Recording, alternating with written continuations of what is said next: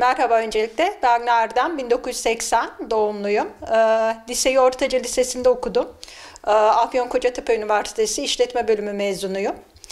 Ee, 12 yıl Ortaca'da bankacılık yaptım.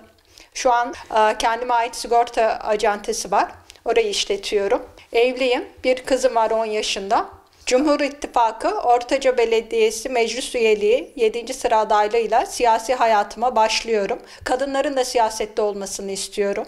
Seçimi kazanırsak öncelikle daha düzgün sokaklar istiyoruz. Bayanların da rahatlıkla topuklu ayakkabıyla yürüyebileceği kaldırımlar istiyoruz. Ortaca'da alim başkanın getireceği yeniliklerin destekçisi olmak için adayım.